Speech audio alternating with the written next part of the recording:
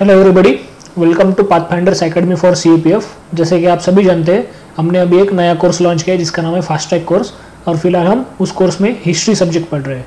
My name is Utkarsh Tambuli so brief information about Pathfinder the year twenty eighteen our glorious year on that year there are one twenty selection from our academy in C A P F services this is photo our mentor doctor Prashant Jagtap he is ex assistant commandant C I S F About him, he is a passionate teacher, professional soldier, and qualified doctor and psychologist.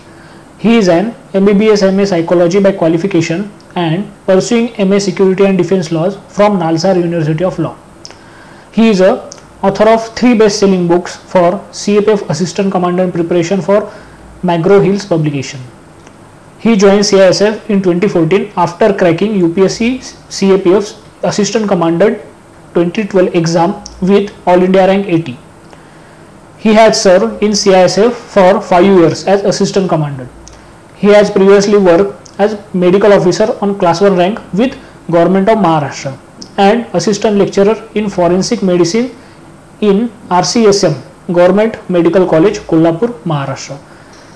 This is about me. I have 2 plus experience of teaching in both forms online and offline form and I am preparing for civil service examination with history as an optional subject.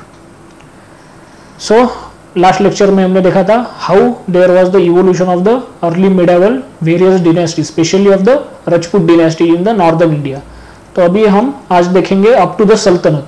तो northern India में हमने कल जो अलग अलग dynasties देखी थी, उनमें बाद में आगे चल के there are two dynasties which became must more important okay तो कौन कौन सी कौन सी डिनेस्टीज है, वो एक बार देख लेते हैं।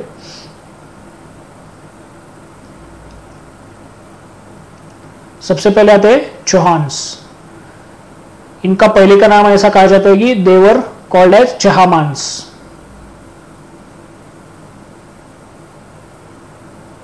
चहामांस और इन्हीं को और एक अल्टरनेट नेम है, जिनको कहा जाता है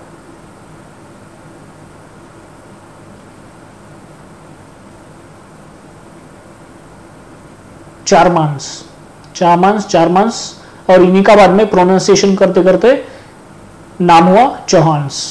तो चौहान डायनेस्टी, सभी को पता है they situated in Ajmer city तो अभी देखते हैं उनके डायनेस्टी के बारे में। वसुदेव नाम का जो बंदा था he was a original founder of the Chauhan dynasty then his descendant became the Singraj he use to call as real founder of the dynasty okay then Ajay Raj Ajay Raj founded the city of Ajmer Ajmer city जहाँ पे आज ख्वाजा गरीब नवाज़ का एक दरगाह भी है। Then Ajay minted picture of his queen जिसका नाम था Shamulya Devi on coin for the first time एक लेडी का जो इमेज था, वो कॉइन पे आ गया था। उसके बाद अजय जो था, उसका डिसेंडेंट आता है, जिसका नाम है विग्रह राज फोर जिसका अल्टरनेट नाम है बिसाल देव इसे बिसाल देव भी कहा जाता था। Jack gave him the title of a kavi bandhava. इसी से पता चलता है कि ये जो बंदा था, जिसको बिसल देव कहा जाता था he was a interested in art and culture at that time क्योंकि उसको कवि बांधव, कवि यानी कि पोएट पोएट का ब्रदर बांधव मीन्स ब्रदर जो उस टाइम पे पोएट्स होते थे, उनका ब्रदर कहा गया। He defeated Tomars and occupied capital जो तोरमानस की थी उस टाइम पे, दिल्ली। तो उस टाइम पे दिल्ली नहीं थी। दिल्ली का नाम उस टाइम पे कहा जाता है कि दहलीवाल था। Dehliwal. So this city also got captured during the Bisadev then इसके टाइम पे एक पोएट था जिसका नाम था Somdev Somdev was the one of the poet in the Chauhan court then जो बिसादेव था he also wrote a drama name Harikeli this was the drama written by Vishal Dev okay उसके बाद सबसे ज़्यादा popular and well known person जो है, उसका नाम है पृथ्वीराज थ्री, जिसको हम पृथ्वीराज चौहान भी जानते हैं। ओके तो पृथ्वीराज थ्री। अभी यहाँ पे ये थ्री है। इट मीन्स व्हाट इससे पहले Prithviraj one and Prithviraj two, ये दो लोग हुए अब ये कब हुए पता नहीं। पर इनके टोटल डेनेस्टी में ये दो लोग पृथ्वी के नाम वाले पहले दो बार हो चुके and this was third Prithvi. And thus why it is called as Prithviraj three इसी को कहा जाता है अल्टरनेट नेम से राय पिथोरा। ओके तो इसका सबसे जो इंपॉर्टेंट इवेंट थे इसके डेनेस्टी के या फिर इसके रेन के टाइम पे, वो हुए थे during the 1191 it was the first battle of Tarai जिसमें पृथ्वीराज थ्री ने मोहम्मद घुरी को डिफीट किया था। He defeated Mohammad Ghori and in second battle of Tarain ये हुई थी 1192 यानी कि एक साल बाद 1192 बट यहाँ पे जो पहले तराई बैटल का जो रिज़ल्ट था, वो रिवर्स हो गया। In second battle of Tarain Prithviraj was defeated by Mohammad Ghori okay पहले इसमें पृथ्वीराज ने घुरी को हराया, दूसरे इसमें घुरी ने पृथ्वीराज को हराया। उसके बाद पृथ्वीराज थ्री का डिसेंडेंट आता है जिसका नाम है Hariraj the tourist took over Ajmer during his reign जब ये गद्दी पे था तो जो टर्क्स आए थे, जो आए थे घुरी के साथ they were the slave of the Ghori तो उन्होंने अजमेर को जीत लिया था। अब देखते आर्ट एंड कल्चर का जो इवोल्यूशन होता है ड्यूरिंग द चौहान डायनेस्टी वो। सबसे पहली बुक जो कि हिंदी में लिखी गई थी, उसका नाम है पृथ्वीराज और आसो याद रखो। This was the first book written in the Hindi, और एक किसने लिखा है? Chandbardai. Then Prithviraj Vijay. This was written by Jaynayak Bhatt Jaynayak Bhatt then Lalit Vigraya Raj and Katha Sarit Sagar. ये लिखा है सोमदेव। यहाँ पे हमने देखा था, देखो। सोमदेव, ये वाला बंदा। ये बंदे ने दो बुक लिखे ओके उसके बाद अल्लाह खान। ये लिखा है जगनायक ने। Jagnayak wrote Alha Khan. So this was about the Chauhan dynasty थोड़े से ब्रीफ वाले इंपॉर्टेंट पॉइंट्स अभी यहाँ पे you can see map of the middle India at that time यहाँ पे चौहामांस जिन्हें चौहांस भी कहा गया है, इन्हें तोमर्स को हराया था। उसके बाद यहाँ पे सेकंड इंपॉर्टेंट डिनेस्टी जिसको गढ़वाल कहा जाता है। जयचंद नाम का किंग था। He was a contemporary of the Prithviraj three okay तो he was a king of the Garhwal dynasty उसके बाद यहाँ पे चंडेलाज यहाँ पे परमाराज यहाँ पे कालाल चोरीज गुर्जर प्रतिहाराज पालाज ओके और यहाँ पे दिल्ली सल्तनत। वो हम बाद में देखेंगे अभी। सो so, उसके बाद गौरवाल डिनेस्टी यहाँ पे जो हमने देखा था जिसकी कैपिटल थी कनौज गौरवाल की कैपिटल थी कनौज और किंग था उसका Jaichand who was a contemporary of the Prithviraj three तो गौरवाल डिनेस्टी जो है इसके फाउंडर थे चंद्रदेव उन्होंने कन्नौज में अपनी कैपिटल को इंस्टॉल किया था। उसके बाद Govind Chandra Gaharwal at his court there are the poet जिसका नाम है लक्ष्मण धार लक्ष्मण धार नाम का इंपॉर्टेंट पोएट था इनके टाइम पे। Then he wrote book named Kritya Kalpa Taru.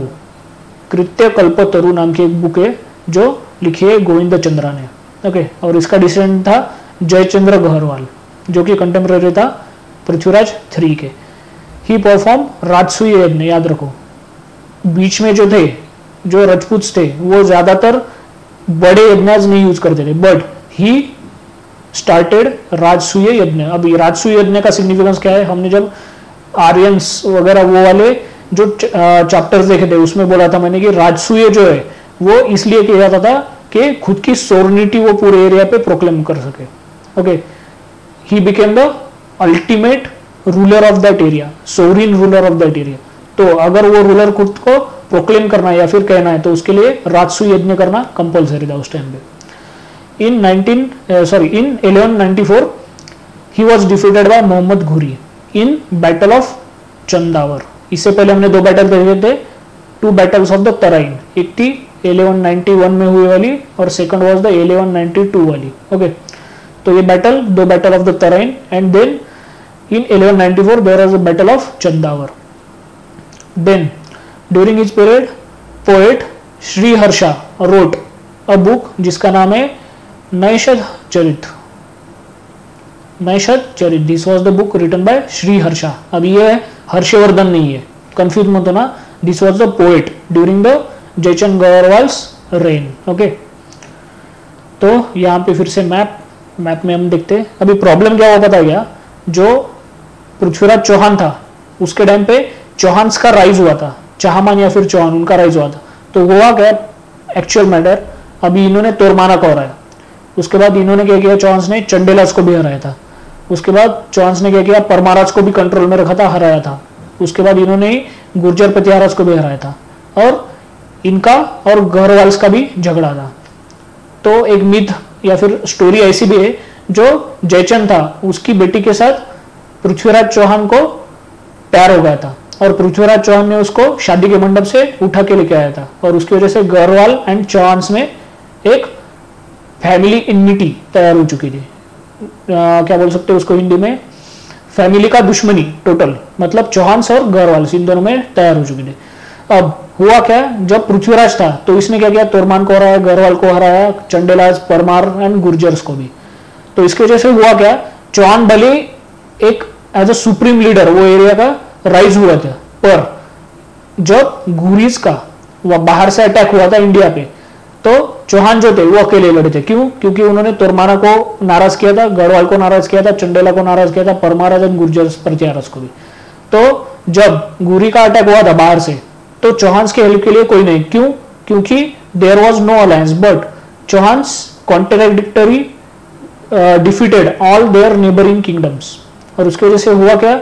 इनके रिलेशन खराब हो गए। और रिलेशन खराब होने की वजह से जब चौहान को ओरिजिनल ज़रूरत थी अलायंस की, बड़े आर्मी की तो उस टाइम पे वो आर्मी उनको नहीं मिली. And that's why in second battle of Tarain there was the defeat of the Prithviraj three okay so this was the basic क्या बोल सकते philosophy of the defeat of the Chauhans अब देखते हैं अरब कॉन्क्वेस्ट सिंध तो अरब जो थे, वो इंडिया में कब आना चालू हुए थे? वो आना चालू हुए थे during the Muhammad bin Qasim सरेन मोहम्मद बिन कासिम नाम का एक बंदा था जिसने for the first time in seven twelve AD Sindh पे अटैक किया था। सिंध नाम की प्लेस है, यहाँ पे यू कैन सी ये वाला ये वाला एरिया ये वाला एरिया यहाँ पे सबसे पहले मोहम्मद बिन कासिम जो था, उसने अटैक किया था। And by defeating king Dahir of the Sindh उस टाइम पे जो दाहिर नाम का किंग था he use to rule the Sindh area पर मोहम्मद बिन कासिम ने क्या किया, ये दाहिर जो था, उसको हरा दिया था। इससे पहले ऐसा भी कहा जाता है कि ये जो डेट है सेवन ट्वेल्व एडी तो इससे पहले भी बहुत बार मोहम्मद बिन कासिम ने एफर्ट लिए थे सिंध को कॉन्क्वेस्ट करने के लिए। पर बहुत बार दाहिर ने उसको हरा दिया था। But in seven twelve AD Mohammad bin Qasim defeated the king Dahir of Sindh तो इस विक्ट्री की वजह से खलीफा ने मोहम्मद बिन कासिम को एक टाइटल दिया था, जिसका नाम है अमीर उल उमरा। यानी कि commander of commanders okay commander of commanders उसी के साथ एक नई कंसेप्ट आती है, यहाँ से चालू होते जिसका नाम है गाजी। जब हम मुगल देखेंगे तो मुगल में जो ओरिजिनल ऑफिशियल नेम होते थे फॉर एग्ज़ाम्पल अकबर का नेम जो है, उसका ओरिजिनल नाम था जलालुद्दीन मोहम्मद अकबर। तो उसके बाद वो बादशाह गाजी नाम का एक टाइटल लगाते थे। अब गाजी का मीनिंग क्या होता है? और मिशनरी फाइटर यानी कि ऐसा वॉरियर जो वॉर तो करता है, उसी के साथ उनका रिलीजन भी एक्सपांड करता है। तो उसको कहा जाता है गाजी ओके अब देखते हैं राइज ऑफ़ मोहम्मद गजनी, कैसे हुआ था? In 971 AD in the Khurasan he got the throne from Sabuktigin Sabuktigin नाम का एक बंदा था। He was a one of the ancestor of the Mohammad Ghazni okay तो खोरसान में 971 एडी में उसको वहाँ का थ्रोन मिला था। ही अटैक इंडिया 17 टाइम्स 17 बार उसने इंडिया पे अटैक किया था। Then Khalifa at that time was Yamin Uddaula और यामिन उद्दौला ने मोहम्मद गजनी को एक इंडिपेंडेंट सुल्तान बोल के भी डिक्लेयर कर दिया था। ओके उसके बाद अभी देखते हैं उसका सीक्वेंस जो अटैक्स थे, उसमें से थोड़े इंपॉर्टेंट अटैक अभी देखते हैं। फ़र्स्ट अटैक जो था उसका, वो हुआ था थाउज़ेंड एडी में। सेकंड अटैक हुआ था थाउज़ेंड वन एडी में। At that time Jaipal was one of the king of the Sirhind जिसको कहा जाता है उस टाइम पे एक डेनेस्टी थी, जिसको कहा जाता है हिंदू शाही। हिंदू शाही डिनेस्टी ये जो डिनेस्टी रूल करती थी, ये रूल करती थी इन टूडेज पाकिस्तान रीजन और स्पेशली वो मुल्तान वाला, वो वाला रीजन तो वहाँ पे जयपाल एंड आनंदपाल नाम के बाप बेटे रूल करते थे। Jaipal was the father of the Anandpal. तो ये दो रूल करते थे। तो बहुत टाइम तक इन्होंने गुइज के इन्वेजन को स्टॉप करके और अच्छी तरीके से रिलीज़ करके रखा था। But in thousand one AD में जयपाल को गुरी ने डिफीट किया। उसके बाद अगेन थाउज़ेंड एट में थाउज़ेंड एट एडी में Anand Pal was defeated by Ghuri and Ghuri also campaign against the Nagarkot जो राजपुताना में वन ऑफ़ द प्लेस थी उस टाइम में। 1025 एडी में Ghori looted Somnath temple okay but during retreat the Jats attack on their back मतलब जब घुरी retreat कर रहा था, वापस जा रहा था अफ़गानिस्तान में तो जाटों ने उन पर अटैक किया था। कब टेन ट्वेंटी फाइव एडी में। तो उसकी वजह से जब वापस वो पावरफुल हुआ, उसने एक फिर से नई आर्मी रिज्वाइन कर ली रिकंस्ट्रक्ट कर ली और फिर से वो टेन ट्वेंटी सेवन में इंडिया में आ गया था specially for the Jat he constructed special campaign against the Jat क्यों? क्योंकि जब last time in ten twenty five में, जब वो वापस जा रहा था जाटो ने उस पर अटैक किया था। And ultimately in ten thirty AD Ghuri got his death okay तो घुरी का जो फीचर था, सबसे इंपॉर्टेंट वो क्या है? He declare himself as a first independent sultan होता क्या था उस टाइम पे? जो भी खलीफास थे, जो मेनली बगदाद में सिचुएटेड होते थे, अगर किसी भी उस टाइम के रूलर को अगर इंडिपेंडेंट होना है तो एक खलीफा की परमिशन कंपलसरी थी because he was a religious head of Islamic world okay he recruited many Hindus on higher post ये सबसे इंपॉर्टेंट चीज़ है ये जनरली कहीं पे बोली नहीं जाती। Okay though he was a Muslim and he was a invader he also employed many Hindus on the higher post उसके टाइम पे अल बिरूनी फिरदौसी फारूखी उतबी ये जो है ये चा, चारों के चारों these are the historical writers who wrote the history of that contemporary period ये चारों ने उस टाइम के जो भी इवेंट्स होते थे वो लिखे हुए and both of the four were in the court of the Ghuri okay तो ये जो चार लोग हैं, इनसे भी हमें बहुत सारी ऐसी बातें पता चलती है जो कि उस टाइम पे इंडिया में हो रही थी। ओके सो यहाँ पे you can see the map map में यहाँ पे हम देख सकते हैं समनिद एम्पायर तो हुआ क्या? समनिद एम्पायर का एक गवर्नर था, जिसका नाम है मोहम्मद गुरी। तो ये जो समनिद एम्पायर था स्लोली स्लोली ये जो वीक होने लगा था तो ये जो नीचे वाला एरिया है आज का अफ़गानिस्तान वाला तो ये अर्लियर डिवाइड होता था, दो हिस्सों में। एक था ऊपर वाला काबुल और नीचे वाला था जाबुल काबुल एंड जाबुल तो समनित जो एमिरेट थे, उसके साथ झगड़ा हुआ था। उसके वन ऑफ़ द गवर्नर का, जिसका नाम था मोहम्मद गुरी। तो उस झगड़े की वजह से गुरी ने क्या किया? उसने अपना मोर्चा जो है झाबुल में शिफ्ट कर दिया। और झाबुल में जैसे शिफ्ट कर दिया और समनित जैसे वीक होने लगा, उसने खुद को इंडिपेंडेंट सुल्तान डिक्लेयर कर दिया। अब इशू क्या था? ये पूरा जो एरिया है this is totally arid area यहाँ पे कुछ प्रॉस्परस चीज़ नहीं हो सकती। यहाँ पे मेनली यहाँ पे you can see the river but ये एक रिवर होने की वजह से ज़्यादा कुछ फ़ायदा नहीं था उस टाइम पे ओके तो उसकी वजह से अगर इसको वेल्थ चाहिए थी, अब वेल्थ किसके लिए चाहिए थी? यहाँ पे समनित जो थे, वो स्टिल पावरफुल थे then the Ghazni sorry Ghuri. तो उसकी वजह से यहाँ पे इसको इंडिया पे अटैक करना इंपॉर्टेंट था कंपल्सरी था। क्यों? क्योंकि उस टाइम पे इंडिया में वेल्थ थी। तो ये क्या करता था? वेल्थ इकट्ठी करता था, वापस जाता था, फिर से इनसे लड़ता था। फिर से इंडिया में आता था, फिर से वापस जाता था, फिर से इनके साथ लड़ता था। Okay so this was is regular tour और द ट्रैवल भी कह सकते इसको। तो एम्पायर ऑफ़ गजनी गजनी यहाँ पे यहाँ पे खैबर पास है। इससे वो इंडिया में एंटर करता था। Okay triple ninety nine thousand one thousand twenty eight one thousand twenty nine में उसने ईरान के जो शाह थे, उन पर अटैक किया था। टेन ट्वेंटी सिक्स में उसने कोस्ट जीत लिया था ये वाला। टेन ट्वेल्व में ये वाला, मकरान कोस्ट और टेन ट्वेंटी फोर में वो गुजरात तक आ चुका था, यहाँ पे इंडिया था ओके मोहम्मद गुरी।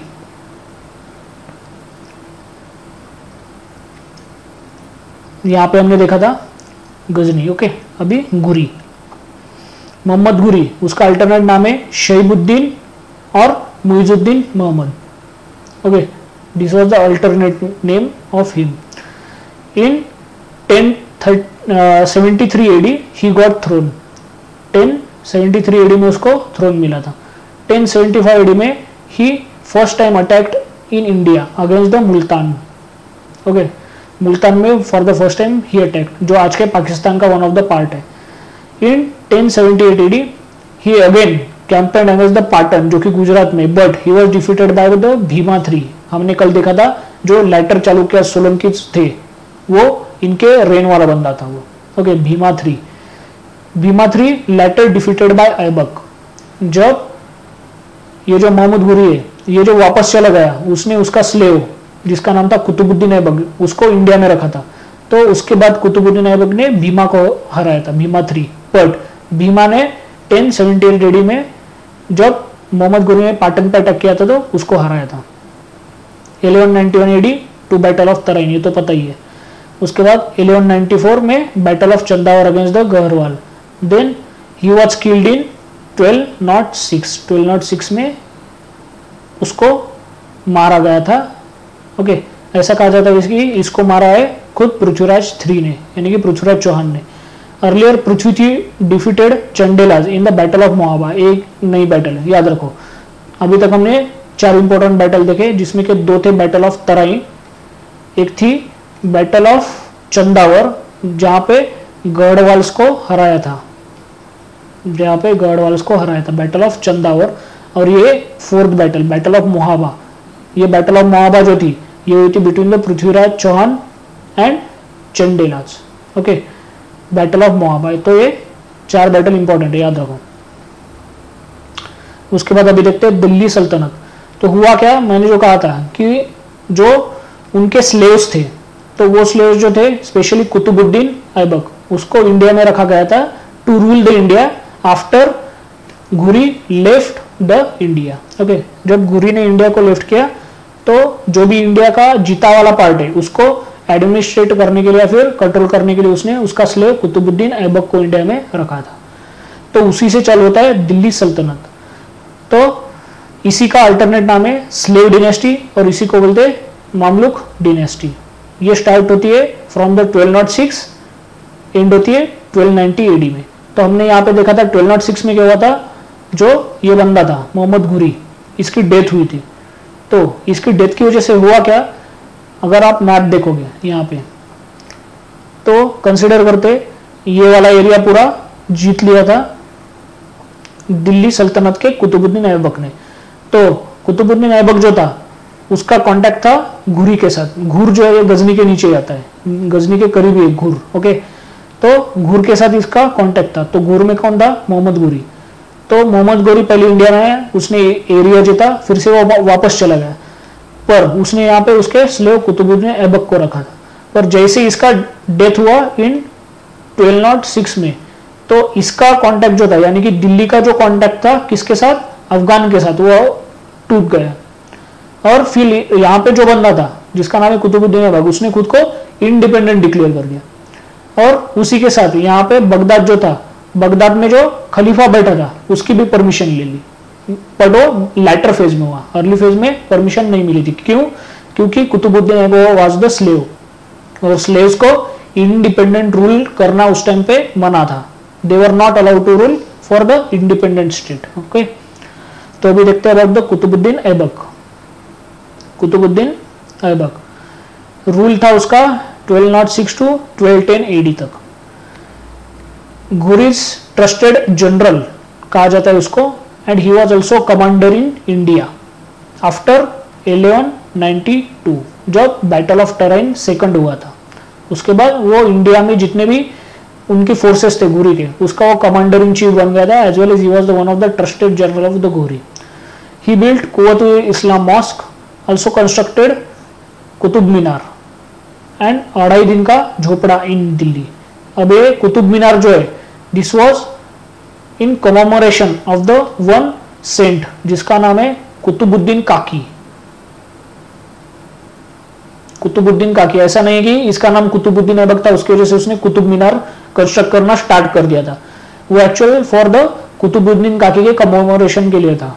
ओके तो इसने तीन चीज़ें कंस्ट्रक्ट की कुतुल इस्लाम। ऐसा कहा जाता है कि कुतुल इस्लाम जो है this is the first mosque but ये मॉस्क जो है, इसके लिए जो भी पिलर लगाए या फिर रॉ मटेरियल लगाए this raw material came from the destroyed temples okay Kutul Islam mosque then Qutub Minar and Adhai Din ka Jhonpra he was known as lakh Bakhsh giver of lakhs यानी कि for his generosity obviously अगर किसी को भी rule करना है, सबको खुश करना है तो ऐबक ने कॉमन पॉलिसी यूज़ की, सबको वो आर्म्स देता था या फिर दान बोल सकते उसको, वो देता था।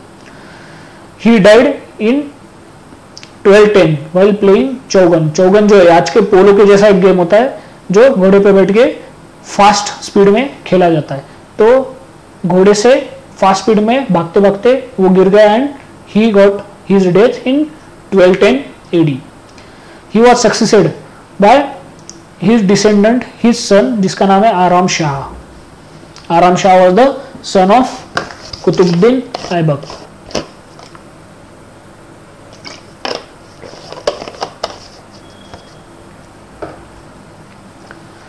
यहाँ पे कुछ प्लेसेस है, नीचे आप you can see in this image Qutub Islam ये अपना कुतुब मीनार एंड अढ़ाई दिन का झोपड़ा वाला मॉस्क एक्चुअली अढ़ाई दिन का झोपड़ा नहीं है, ये दिल्ली में जो कुतुब कॉम्प्लेक्स नाम की प्लेस है, वो है ये।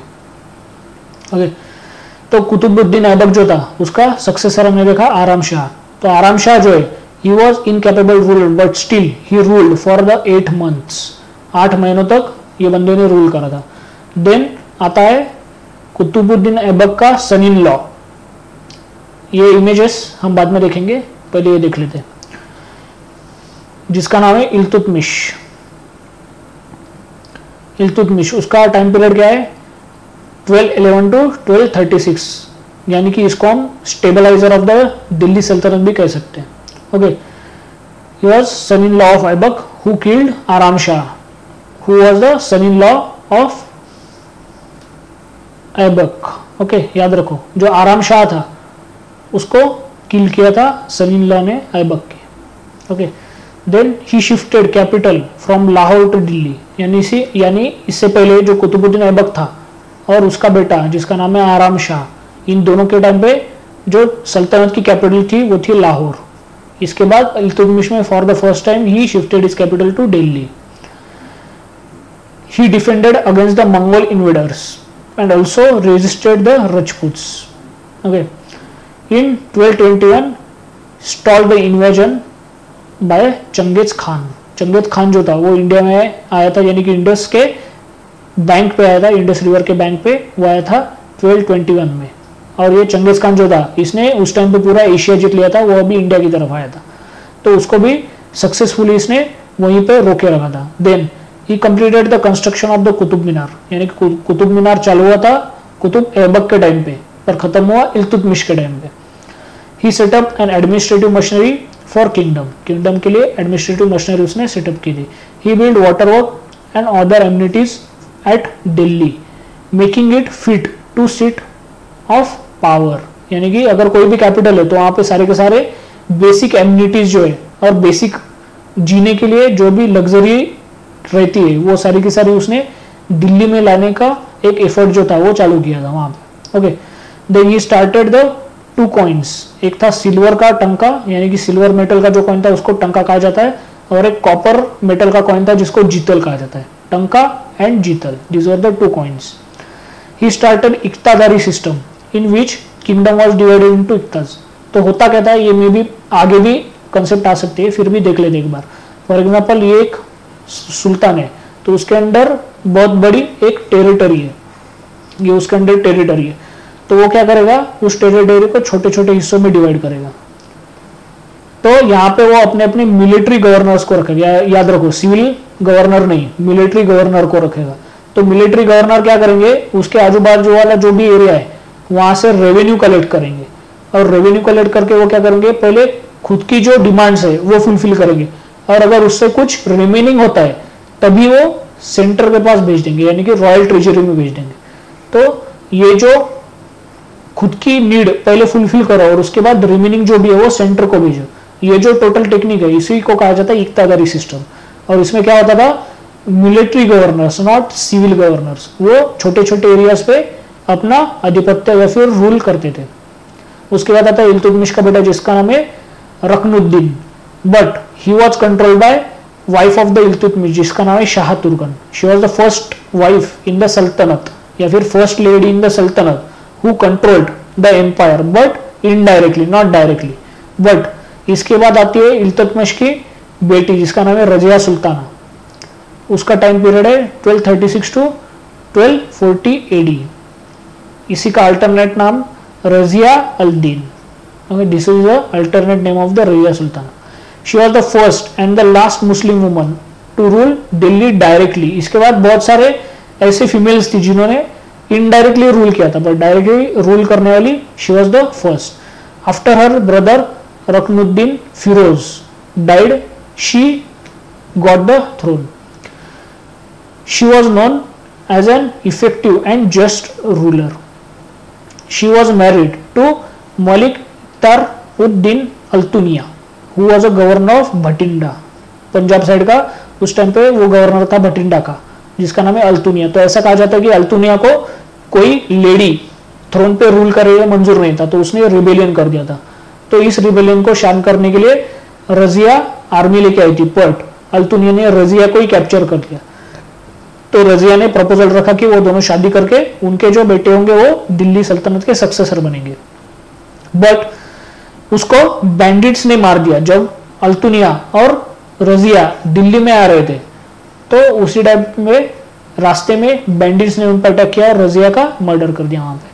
तो रजिया के बाद Muizuddin Bahram Shah became the successor of the Delhi saltanat अब यहाँ पे you can see the map of the slave dynasty जो 1290 तक 1290 तक जिसने राज किया था। तो उनके टाइम पे ये जो ग्रीन वाला एरिया है, वो पूरा उनके अंडर आ चुका था।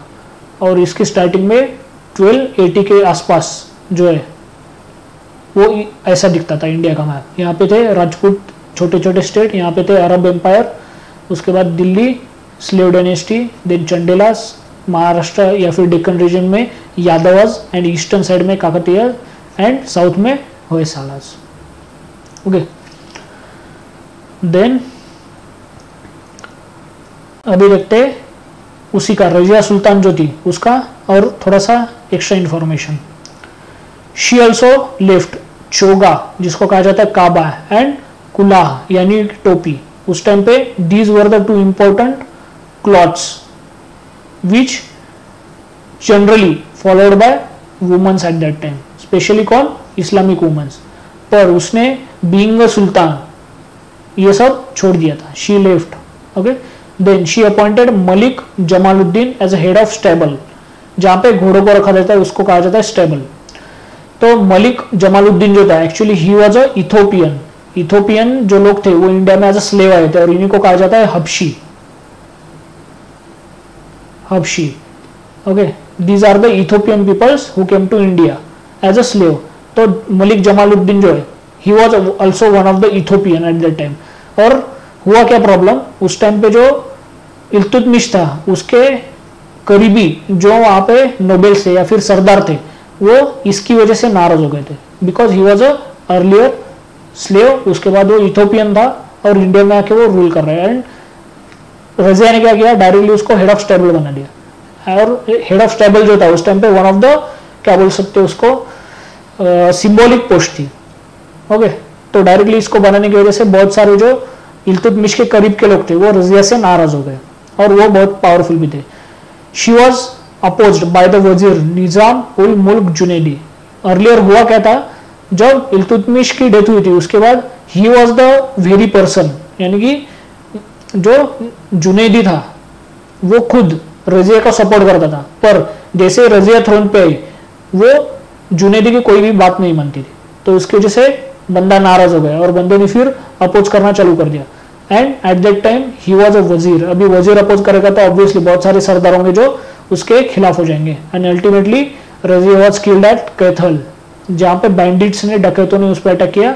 And she died in 1240 AD उसके बाद उसका सक्सेसर बहरम शाह उसका टाइम पीरियड है 1242 he was imprison and killed same fate हुआ था उसका दूसरा भाई जिसका नाम है अलाउद्दीन मसूद शाह. उसका टाइम पीरियड है 1242 टू 1246 एडी सेम यही हुआ था. देन उसका सक्सेसर नासिरुद्दीन. इसका टाइम पीरियड है 1246 एडी इसी के टाइम पे उलुक खान नाम का एक बंदा था। ही बिकेम द नायब। नायब यानी वज़ीर की इक्वल की पोस्ट थी उस टाइम पे। ओके और ये उलुक खान जो है, इसी का ओरिजिनल नाम हम यहाँ पे देख सकते हैं। और उलुक खान ने क्या किया था? उसको जो नासिरुद्दीन था, उसके कोर्ट में अपनी रैंक को या फिर अपने अहदे को और बढ़ाना था। उसकी वजह से उलुक खान ने क्या किया? उसकी बेटी की शादी नासिरुद्दीन से कर दी। और नासिरुद्दीन जैसे कमज़ोर पड़ गया, उसको गायब कर दिया and he himself became the head of the state okay तो जब बलबन को, यानी कि उलग खान को थ्रोन मिला सल्तनत का तो उसने खुद को टाइटल लगाया गया, जिसका नाम है गियास उद्दीन याद रखो, ये गियासुद्दीन जो है it is not a name it is a title Ghiyasuddin Balban. जैसा एंशियंट टाइम में हमने देखा था, विक्रमादित्य नाम का एक टाइटल था, जो कि मेनली इंडियन रूलर्स लगाते थे तो बलबन का टाइम पीरियड गया total 1266 to 1287 AD he was a वजीर of a Nasiruddin Mahmud then he carried military and civil reforms in administration Balban was strict ruler he had symbol, uh, symbol of austerities strict obedience to the emperor he even demanded that people protest before king then he installed severe punishment to slightest of the offense by his courtiers. यानी कि छोटा भी अगर कोई गलती हुआ तो बहुत बड़ी सजा दी जाती थी। He had spy system to keep eye on his noble. Okay okay, जो थे यानी कि सरदार जो थे इसको डर था कि वो इसके खिलाफ रिवोल्ट करने के तो उसके लिए उसने स्पाई सिस्टम भी इंस्टॉल करना चालू कर दिया था वहाँ पे। स्पाइस को भी अपॉइंट किया था।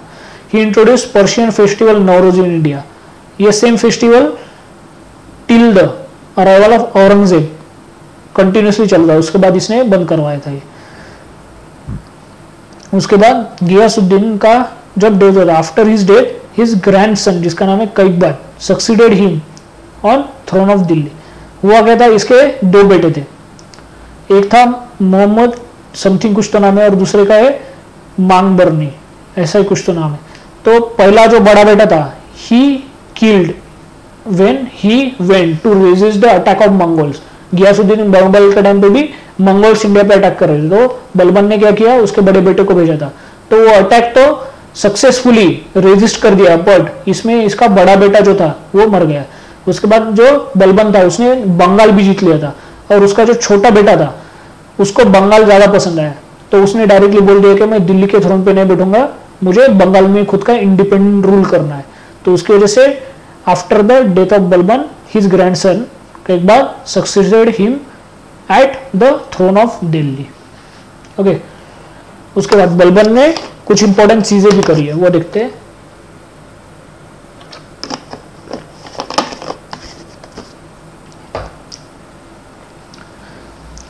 होता क्या है, जब कभी भी कोई भी किंग हो या फिर कोई भी रूलर हो, वो जब थ्रोन पे बैठता है कंसिडर को ये रूलर है। तो वो क्या करता है? अपने गुट के, अपने फेवर के कुछ लोगों को एक साथ बना लेता है और उनकी मदद से वो पूरे स्टेट को एम्पायर को या फिर किंगडम को रूल करता है। ओके तो जब इल्तुतमिश आया था तो इल्तुतमिश को भी अपने फेवर के लोग चाहिए थे।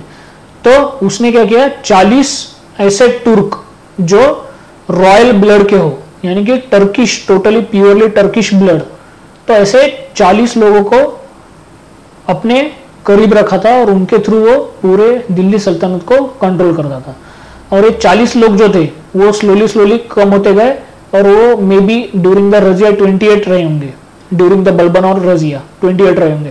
पर ये जो 40 लोग थे, इन्हीं को कलेक्टिवली कहा जाता था तुर्कन ए चिलगनी यानी कि कॉर्प्स ऑफ़ फोर्टी चालीस लोगों का corps then Balban also adapted blood iron policy यानी कि strict rule and strict punishment वाली।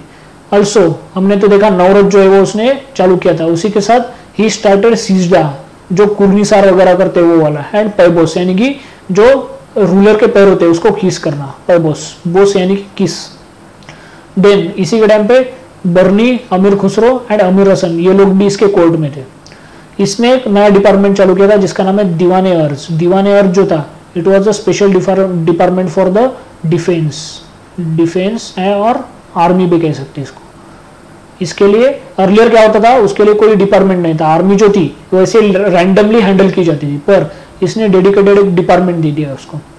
ही हैड टू सन्स हाँ मैंने जो कहा था, ये वाला सेकंड सन जो है ना, किधर गए वो? हाँ ये ये वाला। उसका नाम जो है, वो है बागरा खान। याद रखो, बागरा खान। ये वाला बंदा। ये बंदे ने क्या किया? कि बंगाल जो था, इसमें खुद का इंडिपेंडेंट किंगडम चालू कर दिया और इसने कहा कि मैं दिल्ली को नहीं आने वाला। और इसका जो बड़ा बेटा है, जिसका नाम है मोहम्मद मोहम्मद। तो ये मर गया था when Mongol attack and Balban successfully resisted but his elder son died there उसके बाद जब बलबन का एंड होता है तो उसके बाद जो स्लेव डिनेस्टी है, जो दिल्ली सल्तनत का एस्टेब्लिशमेंट और फाउंडेशन करने वाली इंपॉर्टेंट डिनेस्टी है। तो उसका भी एंड हो जाता है। तो उसके बाद उसके कुछ इंपॉर्टेंट सोल्जर्स थे। तो उनका ना सरनेम था खिलजी।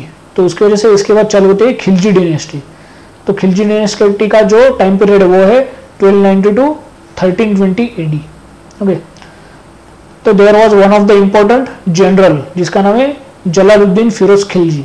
तो इसने बहुत बार मंगोलों को हराया था। उसकी वजह से इसका स्टेटस जो है वो जो दिल्ली सल्तनत का कोर्ट था, वहाँ पे बढ़ गया था। And after the death of Balban he was considered as able administrator तो इसका टाइम पीरियड क्या है? Twelve ninety to ninety six यानी कि चार सालों में। इसके बाद आप सभी को पता है, अगर पद्मावत देखा है तो के अल्लाउद्दीन खिलजी जो है, वो इसको मार देता है। He was called as clemency jalaluddin. As he followed policy of peace and wanted to rule without violence. This policy was totally against the alauddin khilji's policy, जो कंटिन्यू वॉर मोड में था।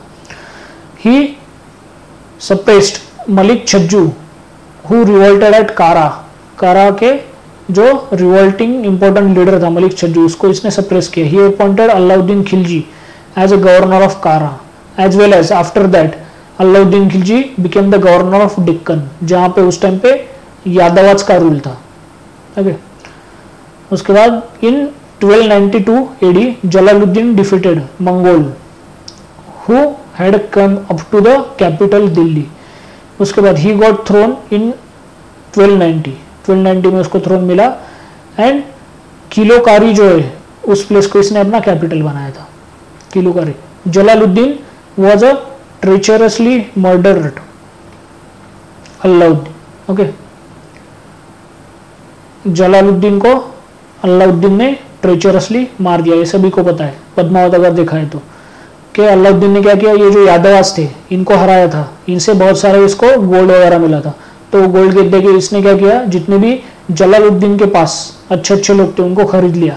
अपने साइड में convert कर लिया और ultimately Alauddin ने जलालुद्दीन को ट्रेचरसली खत्म कर दिया। This is a map of the territorial extent of the Delhi saltanat during the Alauddin Khilji तो ये जो डार्क वाला है डार्क ग्रीन ये वाला एरिया ओरिजिनल डायरेक्ट कंट्रोल जो था अलाउद्दीन खिलजी का, वो कौन से कौन से एरिया पे वो दिखाता है? और ये जो फेंट ग्रीन है this is the territorial area where Jalaluddin didn't directly accessed but he has indirect influence on them तो ये जो एरिया है, यहाँ पे उसका इनडायरेक्ट इन्फ्लुएंस था ओके उसके बाद अलाउद्दीन खिलजी, उसका टाइम पीरियड है 1296 1296 टू 1316 एडी अलाउद्दीन खिलजी उसके दो इंपॉर्टेंट जनरल थे। एक था उलग खान, दूसरा Nusrat Khan. Conquered Gujarat captured Ranthambore killed Hammir Deva ruler of the Ranthambore then they are so conquered Malwa Chittor Dhar Mandu then Ujjain Marwar Chanderi Jalore इतने सारे area को Ulugh Khan and Nusrat Khan ने जीत लिया था।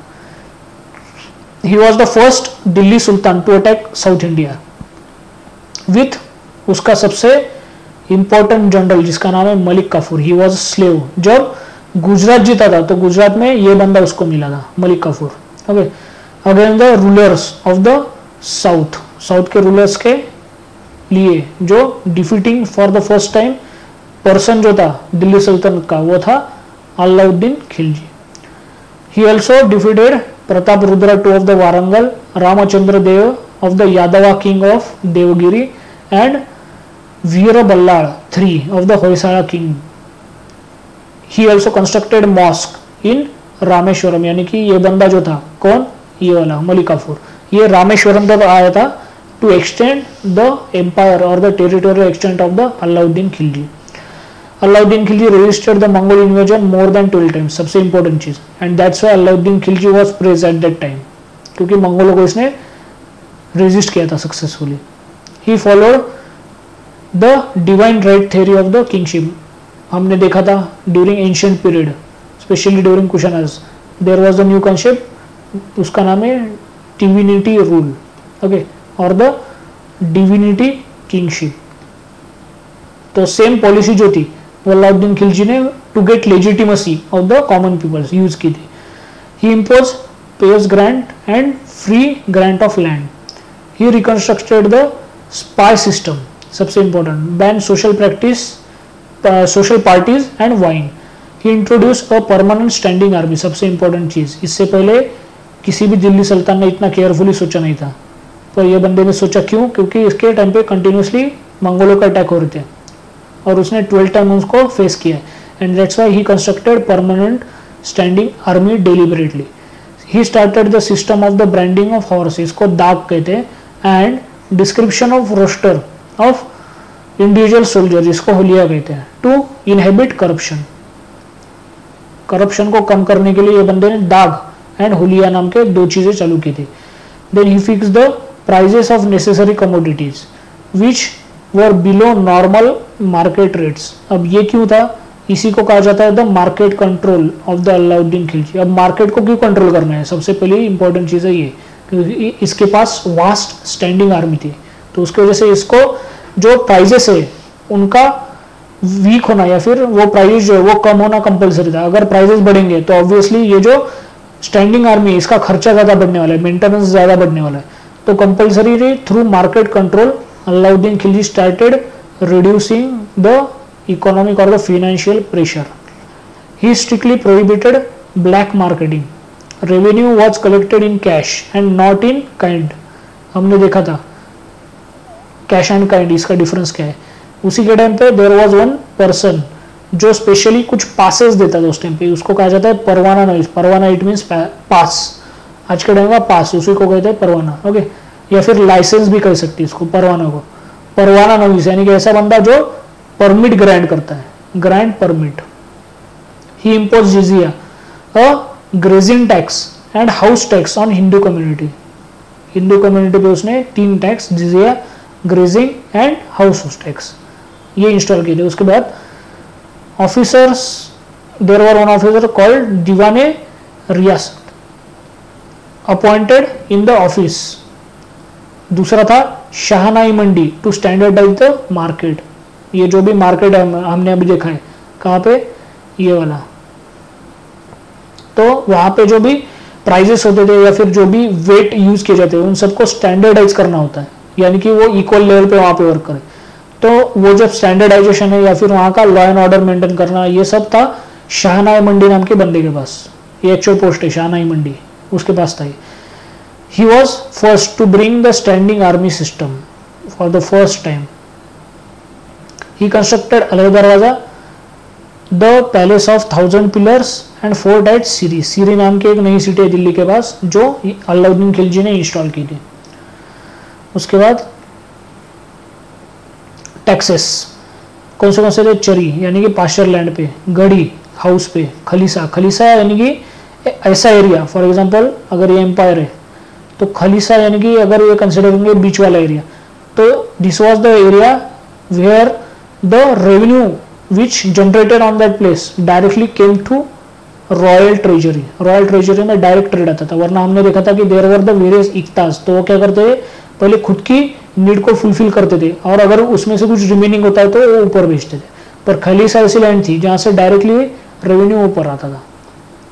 ओके तो उसकी वजह से इसके बाद अगर आप देखोगे तो खलीसा लाइन जो है वो कंटिन्यूसली राइज हो रही थी इसके बाद। Then he constructed जमेद Khana Masjid Alai Darwaza fort of Siri thousand pillars ये तो देख लिया।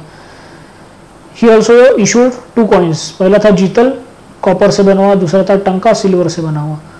देन एक नई पोर्टफोलियो उसने चालू किया था, जिसका नाम है दीवाने ईशा, यानी कि डिपार्टमेंट ऑफ़ स्टेट करस्पॉन्डेंस उसके बाद दूसरा डिसेंडर आता है, जिसका नाम है कुतुबुद्दीन मुबारक शाह। इसका टाइम पीरियड है थर्टीन सिक्सटीन टू ट्वेंटी और सबसे लास्ट में आता है तो खिलजी डिनेस्टी का, जिसका नाम है Nasiruddin Khusro Shah. Nasiruddin Khusro Shah. He was a last ruler of the Khilji dynasty इसके बाद आता है तुगलक डिनेस्टी टाइम पीरियड है thirteen twenty to fourteen thirteen AD तो सबसे पहला जो तुगलक था, जो फाउंडर था, उसका नाम है गियासुद्दीन तुगलक और गाजी मलिक। मैंने कहा था what is mean by Ghiyasuddin and what is mean by Ghazi?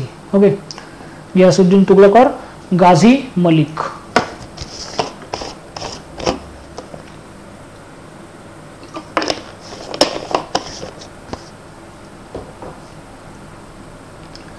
जो गियासुद्दीन मलिक है, या फिर उसी को गाजी मलिक भी हम कह सकते हैं। तो उसका टाइम पीरियड है 1320 to 1325 AD Ghiyasuddin reinstated order in empire जो ऑर्डर ये जो दो लोग थे, उनके टाइम पे खत्म हो चुकी थी, उसको री रीइंस्टेड किया। ही डिफीटेड खुसरू खान खुसरू खान को इसने डिफीट किया था। He gave more importance to postal arrangement judicially irrigation agriculture and police first ruler to build canals canal build करने वाला बंदा फ़र्स्ट था। इसके बाद बहुत सारे कैनाल इंडिया में कंस्ट्रक्ट करना चालू गया ही ब्रॉड बंगाल उत्कल और Odisha and Warangal under his control कौन? गियासुद्दीन तुगलक उसके बाद Mongol leader who invaded north India were seized and confined by him यानी कि इन शॉर्ट अगर बोला जाए तो गियासुद्दीन तुगलक ने जो भी मंगोल लीडर्स थे उनको हरा दिया था। In 1325 AD Ghiyasuddin was crushed to death while attending an event for his victories in Bengal उसी एज में इसके डेथ हो गई थी। देन जुना खान नाम का एक बंदा था। He became the crown prince and succeeded him Juna Khan का अल्टरनेट नाम है Muhammad bin Tughlaq. Okay then Ghiyasuddin Tughlaq installed one of the city of Delhi जिसका नाम है तुगलकाबाद। अगर आप दिल्ली देखोगे there are six important ancient cities या फिर मिडाइल सिटीज़ जिनसे दिल्ली बनती है। Okay Delhi is not a single city उसके अंदर या फिर उसके आसपास पेरीफेरी में छह छोटी छोटी सिटीज़ है जिनको अलग अलग रूलर्स ने कंस्ट्रक्ट किया था। ओके उसके बाद देखते हैं मोहम्मद बिन तुगलक। इसका टाइम पीरियड है 1325 to 1361 AD though the administrative and the political unity of India at that time there was Still, Muhammad bin Tughlaq started expansion. In 1324 AD, he captured Warangal Warangal को capture किया। इससे पहले क्या था? वारंगल को control किया जाता था not capture to fill the empty treasury he raise taxes taxes को रेज किया।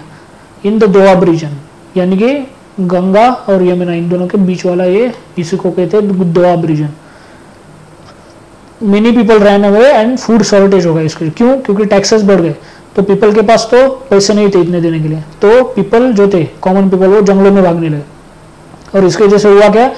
जो एग्रीकल्चर था, वो डिक्लाइन हुआ। अल्टीमेटली जो फ़ूड सिक्योरिटी था फ़ूड ग्रेन था, उसका भी शॉर्टेज हो गया और फ़ूड सिक्योरिटी जो था, वो डिक्लाइन रिड्यूस होने लगा। He shifted his capital from Delhi to Devagiri सबसे पहला ब्लंडर दूसरा है he started token currency system token currency mainly किस चीज़ में? ब्रॉन्ज में एंड कॉपर में. यानी कि होता क्या है? फॉर एग्ज़ाम्पल ये कॉइन है. या फिर ये कंसिडर करो, एक छोटी सर्कुलर नोट है. तो नोट की जो प्राइस होती है, उसका प्राइस अलग होता है. पर नोट पे अगर फिफ्टी रुपीज़ लिखा है तो उसकी प्राइस जो है वो फिफ्टी होती है. ओरिजिनल अगर नोट देखोगे तो फाइव रुपीज़ का होगा. Okay this is the original कीमत and this is the face value तो फेस वैल्यू जो है वो हमेशा हाई होनी चाहिए। तभी हम किसी भी करेंसी को बोल सकते हैं token currency he also started campaign to conquer Khurasan Iran Iraq and Transoxiana और एक चीज़ है करचिल प्रोजेक्ट ये करचिल नाम का एक हिमालयन स्टेट था।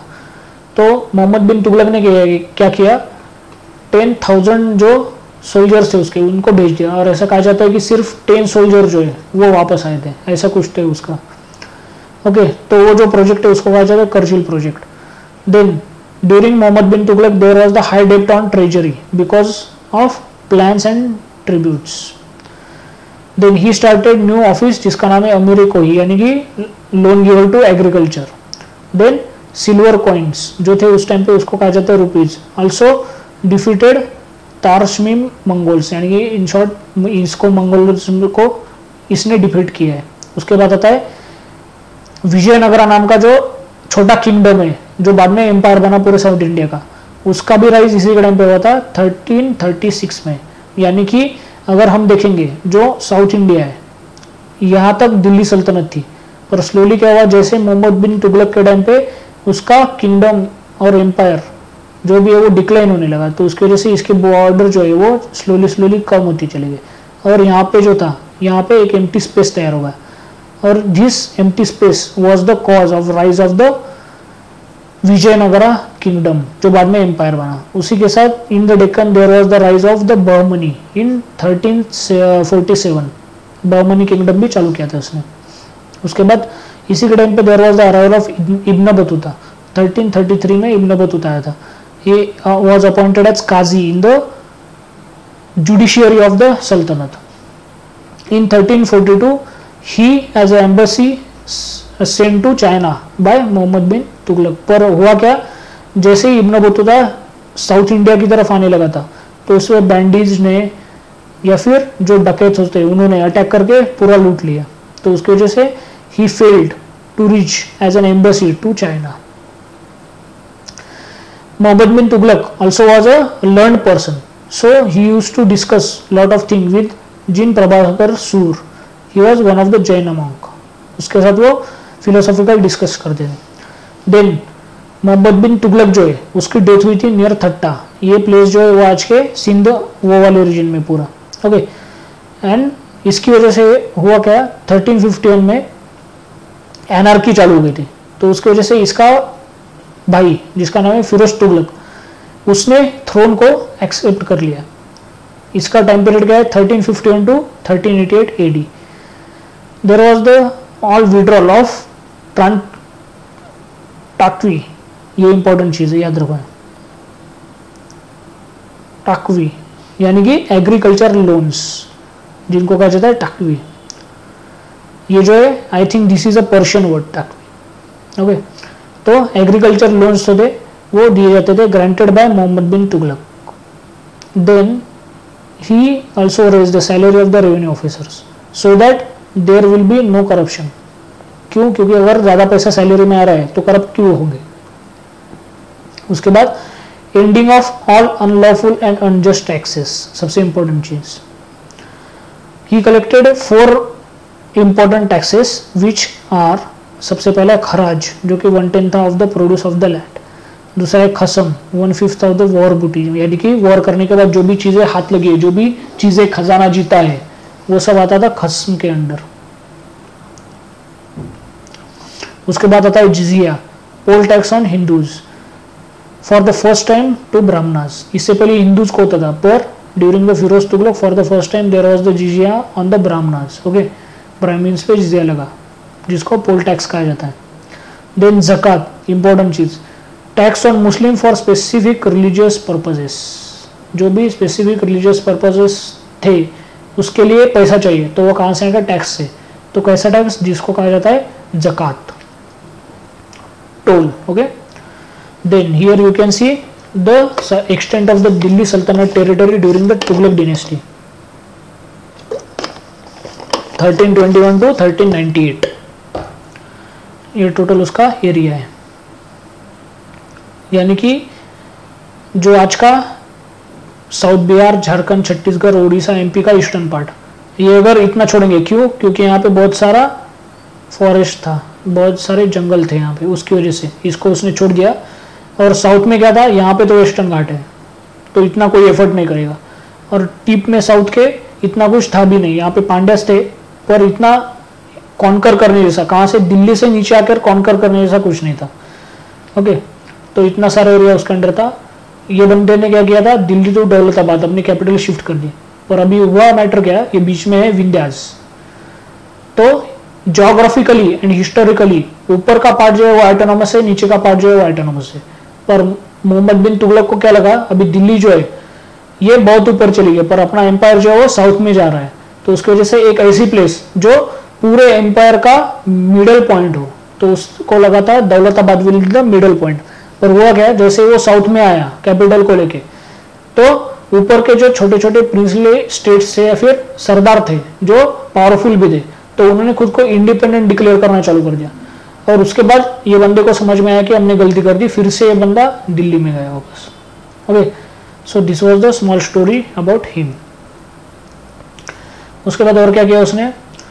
फिरोज शाह ने Firoz Shah Tughlaq he constructed bridges dams also dug many irrigation canals okay उसके बाद he build town like Firozabad Hisar Jaunpur Fatehabad these are the cities constructed by Firoz Tughlaq Firoz ban all kind of damages and torture सबसे important चीज़, जो severe punishment होती उस time पे, या फिर इन ह्यूमन डैमेजेस होते थे तो उनको इसने बैन करवाया था।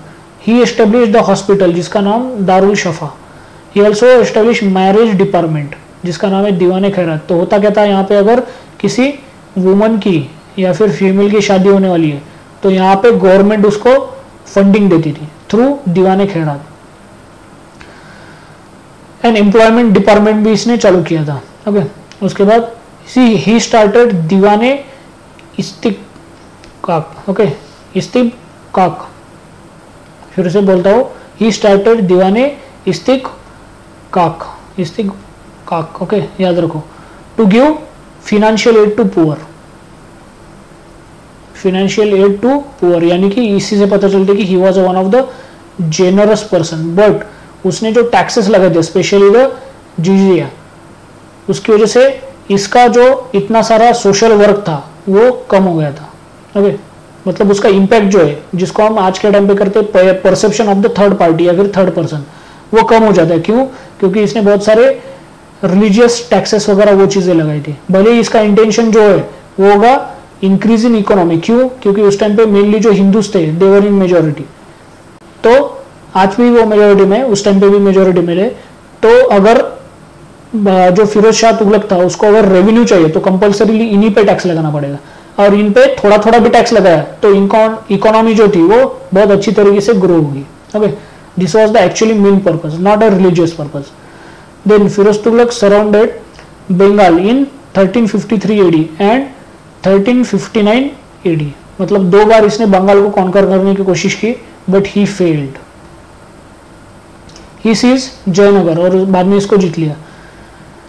He devastated the Jagannath temple of the Puri यानी कि जब ये बंदा उड़ीसा में गया था तो उसने जगन्नाथ पुरी टेंपल को डिस्ट्रॉय कर दिया था। उसने एक नया अलग डिपार्टमेंट तैयार किया था, जिसका नाम है दीवाने बंदगान, यानी कि डिपार्टमेंट ऑफ़ स्लेव्स अब मैंने जो कहा था पहले कि अगर किंग है तो उसके फेवर के कुछ लोग लोग होंगे। ओके और इनके थ्रू किंग जो है वो रूल करेगा। पर प्रॉब्लम क्या हुआ? In this phase specially during Tughlaq ये जो लोग थे ये उल्टा किंग को ही मैनिपुलेट करते थे और उसको प्रेशराइज करते थे। तो फिरोज तुगलक ने क्या आइडिया लगाई कि ये बंदा जो भी एरिया जीतता था, कौन? फिरोज शाह तुगलक। तो वहाँ से हट्टे कट्टे जो मजदूर थे या फिर लेबर्स थे, उनको वो लेके लेके आता था और उसको वो स्लेव बनाता था। ओके ये कंसिडर करो, मजदूर है या फिर स्लेव्स है। तो हुआ क्या? ये जो लोग प्रेशर करते थे तो इनके आने की वजह से इन दोनों में झगड़ा हुआ और जो ये ऊपर वाला किंग था, इसको कुछ टेंशन नहीं था। इन दोनों में आपस में झगड़ा चल रहा था ओके तो ऐसा कहा जाता कि this was also one of the policy of the Firoz Shah Tughlaq then Firoz के बाद आता है गियासुद्दीन तुगलक शाह टू इसका कुछ ज़्यादा सिग्निफिकेंस नहीं है। उसके बाद अबू बकर शाह इसका भी कुछ ज़्यादा सिग्निफिकेंस नहीं है। देन लास्ट वाला इंपॉर्टेंट जिसका नाम है Nasiruddin Mohammad Tughlaq he was a last but इसका भी कुछ इतना सिग्निफिकेंट नहीं है। देन इन्होंने क्या किया? कैपिटल दिल्ली टू पालम को शिफ्ट की। किसने? ये लास्ट वालों ने। कैपिटल जो है, दिल्ली टू पालम शिफ्ट की टेम्पररी पीरियड के लिए। There was also invention of the araghatta और द राहट इसी को कहते हैं पर्शियन व्हील यहाँ पे you can see in image यहाँ पे पॉट्स लगे होते। ये क्या करते? यहाँ पे नीचे पानी होता है कुएँ में। कुएँ में ऐसे पॉट्स जाते। और ऊपर पानी लेके आते हैं और नीचे डालते हैं। नीचे यानी कि ये ज़मीन पे और ज़मीन के थ्रू ये अलग अलग दिशाओं में जाता है, जहाँ पे इसको जाने के लिए एक रास्ता किया गया है। और ये जो व्हील है, ये घुमाते थे bulls through their muscle power okay और ये जो पूरी चीज़ है, ये जो व्हील है, इसी को कहा जाता है अरगट्टा अल्टरनेटम राहत और इंग्लिश में देखेंगे तो Persian wheel during the reign of the later Tughlaqs there was the attack of Timur, जो कि उस टाइम पे सेंट्रल एशिया में रूल करता था, तैमूर। उसने इंडिया पे अटैक किया in 1398 AD and Jaunpur declare its independent अभी जौनपुर जो है, वो कहाँ पे, वो एक बार देख लेते कंसिडर करो। This is the India's north part okay India का नॉर्थ पार्ट है। यहाँ पे दिल्ली। तो जैसे ही तिमूर का जो एम्पायर था वो यहाँ पे था, पूरा सेंट्रल एशिया उसके अंडर था। तो जैसे ही तिमूर ने अटैक किया था, कब? 1398 में। तो यहाँ से इसी से सटा एक छोटा रीजन था जहाँ पे कि जो वहाँ के रूलर थे, वो खुद को इंडिपेंडेंट पहले से डिक्लेयर करना चाहते थे। पर जैसे तैमूर ने अटैक किया, दिल्ली जो थी वो क्रश हो गई। और उसके वजह से यहाँ पे जो उसके एडजॉइनिंग प्लेस पे जो किंगडम था उसने खुद को इंडिपेंडेंट डिक्लेयर कर दिया उसने खुद को जौनपुर किंगडम बुलाना भी डिक्लेयर कर दिया था। ओके सो यहाँ पे खत्म होता है अपना Delhi Sultanat. I hope you caught all the points और आज के लिए इतना ही काफ़ी है। बाकी देखेंगे अगले लेक्चर में। Thank you